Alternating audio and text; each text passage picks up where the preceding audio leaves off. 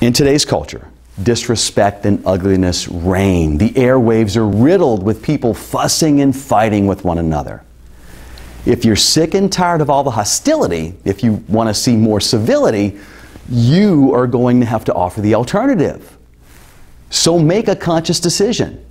No matter the circumstance, whether they deserve it or not, pause for a moment and treat everyone, even those who aren't kind to you, with respect and dignity. Do it enough, and I promise people are watching.